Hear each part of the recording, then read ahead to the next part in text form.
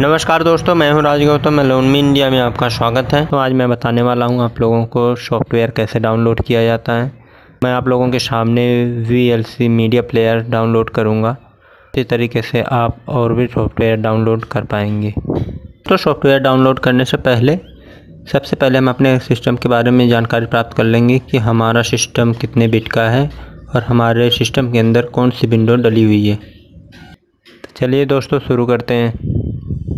System की जानकारी प्राप्त करने के लिए सबसे पहले हम डेस्कटॉप पे जाएँगे। डेस्कटॉप पे हम देखेंगे कि हमारे लेफ़्ट साइड पे दिस पीसी का आइकन है। इस आइकन पे हम राइट क्लिक करेंगे। और प्रॉपर्टीज़ पे क्लिक कर देंगे।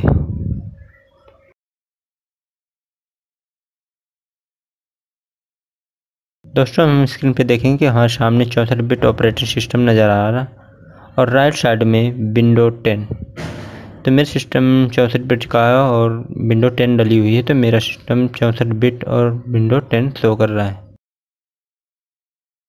दोस्तों, सबसे पहले हम गूगल क्रोम को ओपन कर लेंगे।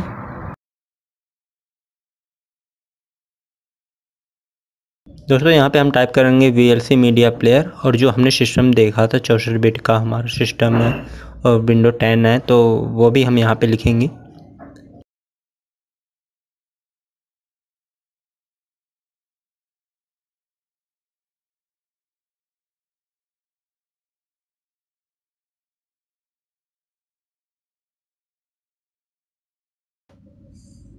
दोस्तों, ये नीचे लिखा हुआ नज़र आ रहा है तो मैं इस पर क्लिक कर दूँगा क्योंकि मेरा सिस्टम भी चौंसठ बिट का विंडो टेन डली हुई है मेरे में तो मैं इस पर क्लिक कर देता हूँ।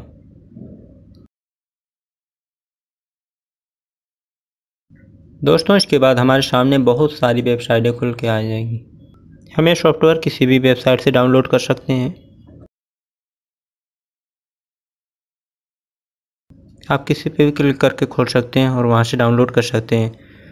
तो मैं फ़ाइल हिपो पे क्लिक करके ओपन कर लेता हूँ। जैसे हम इस वेबसाइट पर क्लिक करेंगे, हमारे सामने एक नया पेज ओपन होगा। लेफ़्ट साइड पे हम देखेंगे V L C media player हमें दिख रहा है और राइट साइड में हमारे डाउनलोड का ऑप्शन आ रहा है। डाउनलोड करने के लिए हम इस पर क्लिक करेंगे।